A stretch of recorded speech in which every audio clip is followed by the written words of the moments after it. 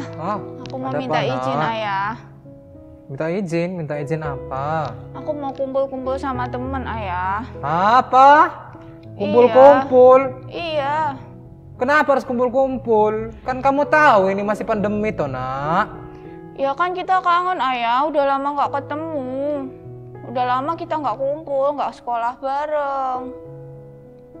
Kamu ini ya udah nggak apa-apa kalau kamu mau kumpul-kumpul. Tapi ingat loh, virusnya jangan sampai ikut ngumpul juga. Ah, jangan sampai ngumpul juga. Oke ayah. Halo adik-adik, shalom. Shalom adik-adik. Gimana Kariat kabarnya hari ini? Luar biasa dong kan Ana. Kak Bob? Hai dong. Kak Novi? Oke, berarti kita udah siap ya? Kita mau mulai ibadah kita? Sebelum kita mulai ibadah, kita berdoa dulu. Adik-adik cari tempat yang paling enak. Kalian duduk, sikap berdoa ya. Lipat tangannya, tutup matanya, kita berdoa.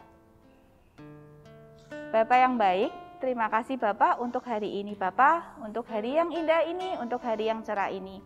Kami boleh berkumpul lagi secara eh, online untuk melakukan ibadah Nest Bapak. Bimbing setiap kami Bapak sehingga kami boleh memuji menyembahmu dengan sungguh-sungguh dengan sukacita yang melimpah. Terima kasih Tuhan. Dalam nama Tuhan Yesus kami sudah berdoa dan mengucap syukur. Haleluya. Amin. Amin. Nah, gimana kabar kalian hari ini? Luar Pasti luar biasa juga Pasti kan, kayak biasa. kakak-kakak di sini ya. Kalian sudah eh, sehat-sehat kan? Sehat. Ya, itu bagian dari kasih Tuhan sama Kita. kalian. Iya, sama kita. Oke, sekarang kita bangkit berdiri, kita mau nyanyi, kita mau memuji Tuhan, kita mau bersuka cita.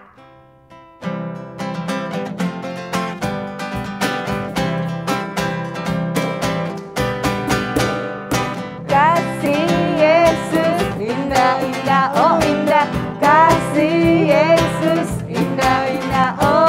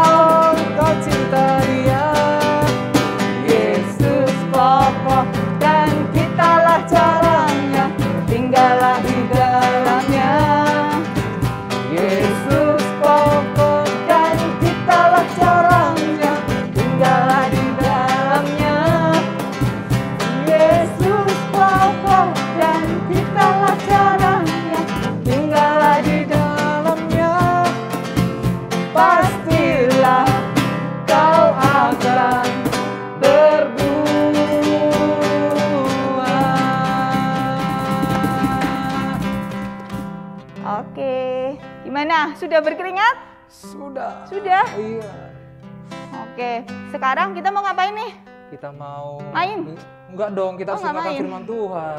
Oh, kita mau dengerin firman Tuhan ya.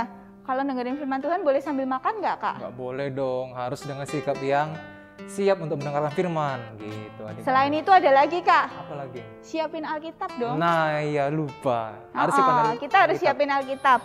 Coba adik-adik ambil Alkitab Alkitabnya dulu. Oke, semua udah diambil. Sekarang sikap eh, yang baik. Kita mau nyanyi dulu sebelum masuk ke firman.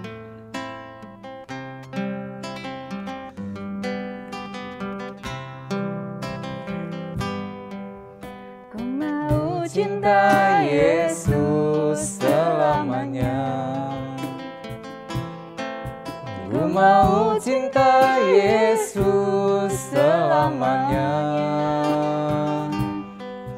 Meskipun badai silih berganti dalam hidupku, ku tetap cinta Yesus selamanya. Aba, Bapa, ini aku anakmu, layakkanlah seluruh hidupku. Ya Aba, Bapa, ini aku anakmu, pakailah sesuai dengan rencanamu. Cinta Yesus selamanya. Ku mau cinta Yesus selamanya. Meskipun badai silih berganti dalam hidupku, ku tetap cinta Yesus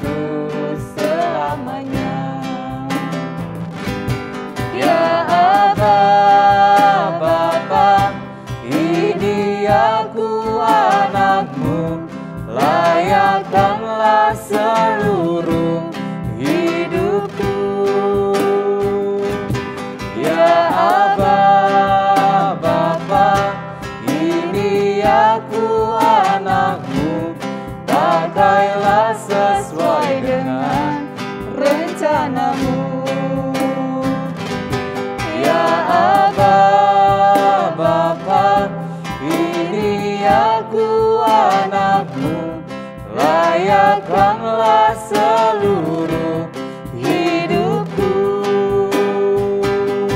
Ya Aba, Bapa, ini aku anakmu, pakailah sesuai dengan rencanamu. Pakailah sesuai dengan rencanamu. Pakailah sesuai dengan rencanamu.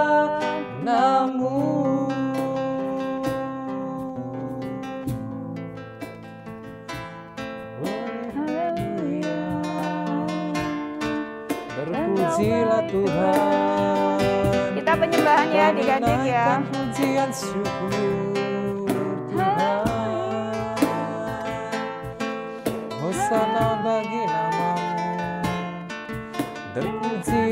Terpujilah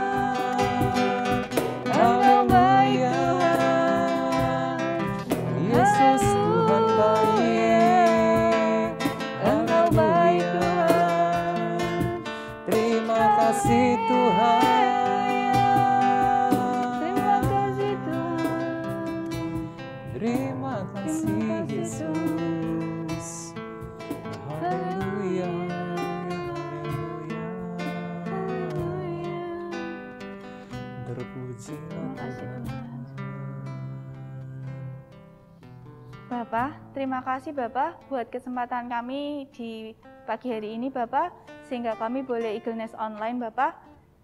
Kalau sebentar lagi kami mau mendengarkan firman-Mu, biarlah benih-benih firman-Mu tumbuh dalam hati kami, bertumbuh subur dan berbuah manis bagi orang-orang di sekitar kami. Berkati juga Kak Reta yang akan membawakannya Bapak. berikanlah hikmat bijaksana pada kami semua, sehingga Kak Reta yang membawakannya bisa uh, memberitakan firman-Mu dengan baik, dan kita bisa mendengarkannya dengan baik. Terima kasih Tuhan, dalam nama Tuhan Yesus kami sudah berdoa dan mengucap syukur. Haleluya, amin. Amin. Shalom adik-adik, selamat hari Minggu. Senang sekali hari ini kita bisa bertemu kembali di Eagle Nest. Oke, hari ini Kak Reta akan membawakan firman di hari Minggu ini. Nah, adik-adik kan sekolah nih. Siapa yang di sini pernah mendengar ungkapan Bineka Tunggal Ika di sekolahan? Semuanya sudah pernah? Oke. Nah, pertanyaan yang kedua, Siapa yang di sini tahu apa artinya Bineka Tunggal Ika? Bineka Tunggal Ika, apa itu kak? Bineka Tunggal Ika artinya berbeda-beda tetapi tetap satu. Nah, memangnya kalau di Indonesia ini yang berbeda apa saja sih kak? Uh, ada banyak. Yang pertama, ada berbeda suku. Misalnya, Kak Reta ini dari suku Jawa. Nah, kalau misalnya Kak Riyad, Kak Riyad itu dari suku Batak. Kalau Kak Niko, Kak Niko dari suku Tionghoa. Nah, jadi di Indonesia ada ribuan suku yang menempati Indonesia ini. Perbedaan yang lain. Oh, ada perbedaan agama juga. Siapa yang di sini tahu ada berapa agama yang ada di Indonesia? Tahu jawabannya? Iya betul, ada enam agama yang diakui di Indonesia. Siapa yang bisa sebutkan? Yang pertama ada kita Kristen. Oke, yang lainnya ada Katolik. Ada lagi Islam, Hindu, Buddha, dan juga ada Konghucu. Jadi di Indonesia ini ada berbagai banyak perbedaan tetapi kita tetap satu, yaitu Indonesia. Nah, hari ini Kak Rita mau bercerita tentang rukun walaupun berbeda. Oke, pembacaan firman kita hari ini terambil dari kitab Matius 22 ayat 35 sampai 40. Oke, sekarang kita buka Alkitabnya semua. Matius 22 ayat 35 sampai 40. Kita baca bersama-sama ya. Satu, dua, tiga. Dan seorang dari mereka, seorang ahli Taurat, bertanya untuk mencobai dia. Ayatnya yang ke-36. Guru, hukum manakah yang terutama dalam hukum Taurat? Nah, jadi waktu itu ada seseorang yang bertanya kepada Tuhan Yesus, Tuhan, kan ada hukum banyak sekali. Misalnya, jangan menyembah berhala, kuduskanlah hari sabat, lalu ada lagi, hormatilah ayahmu dan ibumu, jangan mencuri, jangan membunuh, jangan bersaksi dusta atau jangan berbohong. Nah, orang ini dia bertanya, hukum manakah yang terutama atau yang paling penting. Lalu ayat yang ke-37, jawab Yesus kepadanya, Kasihilah Tuhan Allahmu dengan segenap hatimu dan dengan segenap jiwamu dan dengan segenap akal budimu.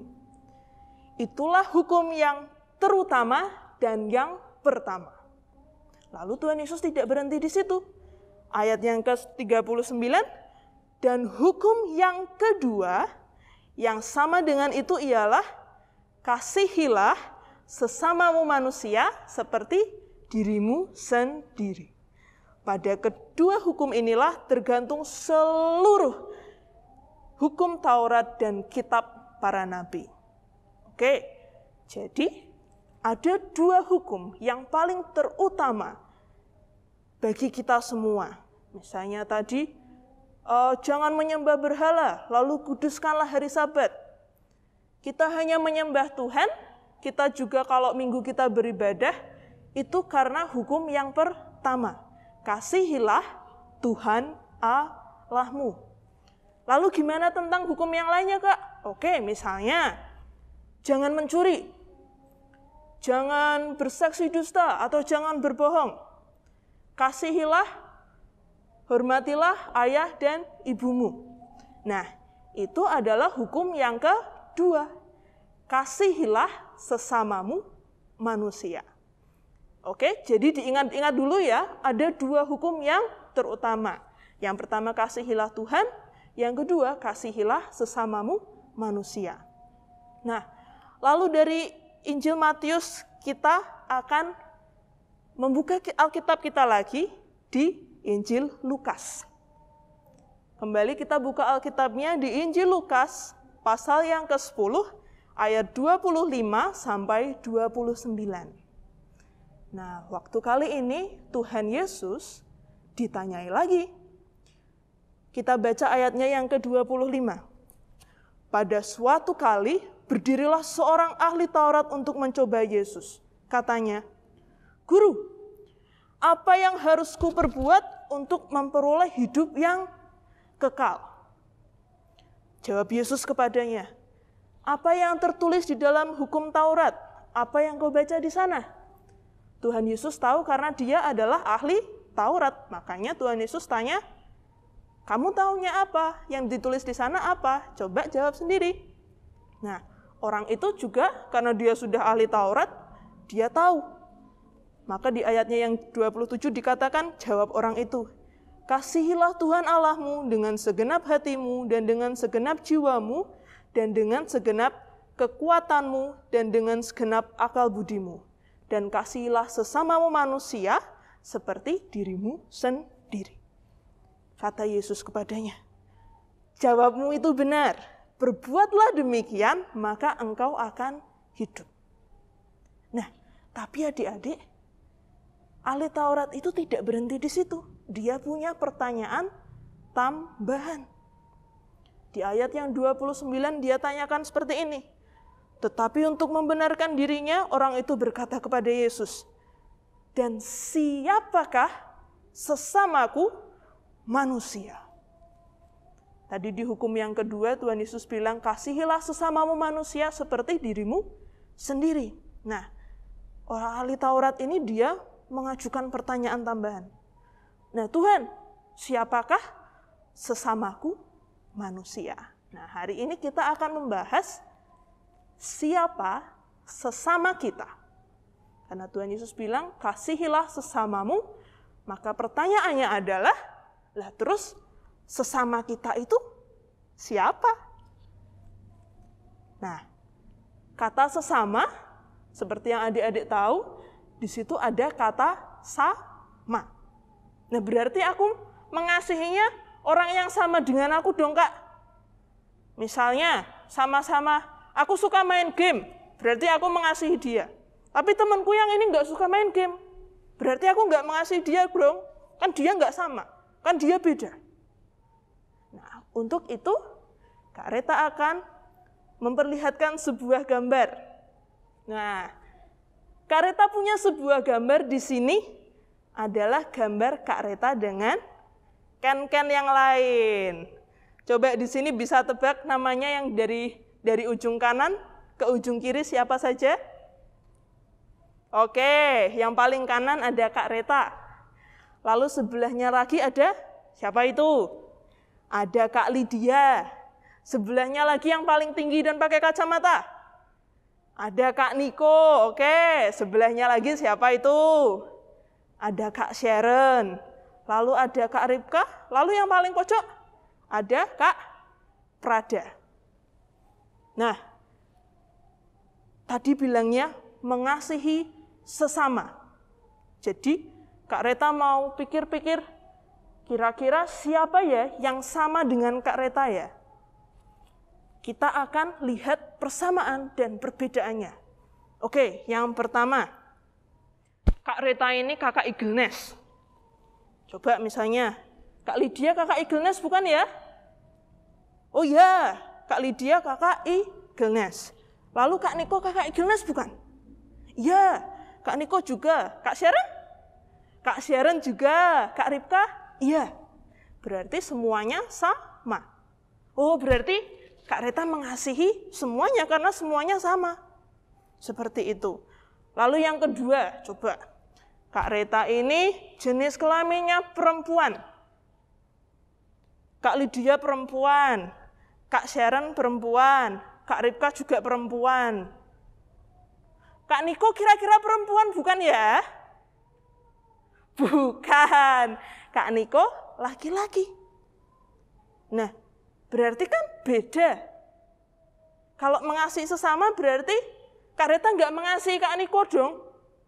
Gimana dong kalau kayak gitu? Oke kita lanjut dulu. Lanjut lagi. Kak Reta di foto ini Kak Reta tidak pakai kacamata. Oke, Kak Lydia juga tidak pakai kacamata. Berarti kita saling mengasihi. Kak Sharon, Kak Sharon juga di situ tidak pakai kacamata. Kak Ripka juga tidak pakai kacamata. Tapi Kak Niko kok pakai kacamata ya? Kak Niko kok beda ya? Masa Kak Reta mengasihi kakak-kakak yang lain, tapi Kak Niko tidak dikasihi? Gimana dong? Katanya mengasihi sesama, tapi Kak Niko beda. Masa tidak dikasihi? Oke, kita lanjut lagi. Yang satunya lagi, Kak Reta bisa main gitar. Nah, di foto ini yang bisa main gitar cuma Kak Ripka. Kakak-kakak yang lain, Kak Lydia, Kak Niko, dan Kak Sharon, mereka tidak bermain gitar. Berarti Kak Rita cuma mengasihi Kak Ripka saja. Seperti itu? Kan tadi bilangnya mengasihi sesama, Kak. Yang sama ya, cuma Kak Ripka. Yang lainnya ya, enggak usah dikasih aja. Apakah seperti itu? Nah, untuk menjawabnya kita akan kembali ke ayat yang tadi. Untuk hukum yang kedua. Kasihilah sesamamu manusia. Kata kuncinya ada di manusia. Coba. Kak Reta manusia, Kak Lydia manusia, Kak Niko manusia, Kak Sharon, Kak Ripka, kakak-kakak yang ada di sini, dan juga adik-adik semuanya, kita semuanya manusia. Tuhan bilangnya, kasihilah sesamamu manusia. Jadi walaupun berbeda seperti yang tadi, Kak Reta perempuan, Kak Niko laki-laki, Kak Reta tidak pakai kacamata, Kak Niko pakai kacamata. Kak Reta bisa bermain gitar, di sini yang bisa main gitar di foto ini cuma Kak Ripka. Walaupun ada perbedaan, tetapi semuanya adalah manusia. Dan kita sebagai sesama manusia, kita saling mengasihi. Seperti itu ya adik-adik. Karena bahkan di Indonesia ini ada banyak sekali perbedaan. Misalnya ada perbedaan agama, ada perbedaan usia, seperti itu. Jadi ada yang masih kecil, ada adik-adik, ada juga yang sudah kayak di lagunya kakek-kakek, nenek-nenek. Seperti itu ya. Nah, ada berbagai banyak perbedaan, tidak cuma di gereja ini, tidak cuma di Indonesia, dan juga di seluruh dunia ada banyak perbedaan. Tetapi Tuhan Yesus mengingatkan agar kita saling mengasihi sesama manusia. Jadi itu pesan Kak Reta hari ini agar kita saling mengasihi sesama manusia. Walaupun kita berbeda, tapi kita sama-sama manusia, kita saling mengasihi. Oke? Kita akan tutup firman pada pagi hari ini. Kita akan tutup dengan doa, lalu kita akan melanjutkan dengan doa Bapa kami. Oke, sekarang semuanya tutup Alkitabnya, lipat tangannya, dan tutup matanya. Kak Reta akan pimpin dalam doa. Tuhan Yesus, terima kasih Tuhan atas berkat-Mu Bapa, atas kasih-Mu bagi kami semua. Terima kasih juga untuk firman-Mu yang sudah Tuhan berikan pada pagi hari ini Tuhan yang mengajarkan kami untuk yang pertama mengasihi Engkau, lalu yang kedua untuk mengasihi sesama kami manusia. Kami tahu Tuhan, kami semua berbeda, Ada yang laki-laki, ada yang perempuan, ada yang tua, ada yang muda, ada yang dari suku Jawa, ada yang dari suku Batak, ada yang dari suku Tionghoa, dan suku-suku yang lainnya, Tuhan. Tapi kami semuanya adalah manusia, dan kami mau saling mengasihi, sama seperti Tuhan juga mengasihi. Ajari kami, Tuhan, untuk boleh tetap setia Bapa mengasihi sesama kami melalui doa kami, melalui perbuatan nyata kami, bagi teman-teman dan bagi orang-orang di sekitar kami. Terima kasih Tuhan, kami akan menutup firman pada pagi hari ini Bapa dengan doa yang Tuhan Yesus ajarkan sendiri. Bapa kami yang di surga, dikuduskanlah namamu, datanglah kerajaanmu, jadilah kehendakmu di bumi seperti di surga. Berikanlah kami pada hari ini makanan kami yang secukupnya, dan ampunilah kami akan kesalahan kami, seperti kami juga mengampuni orang yang bersalah kepada kami. Dan janganlah membawa kami dalam pencobaan, tetapi lepaskanlah kami daripada yang jahat. Karena engkaulah yang mempunyai kerajaan dan kuasa dan kemuliaan sampai selama-lamanya. Amin. Selamat hari Minggu, Tuhan Yesus memberkati. thank you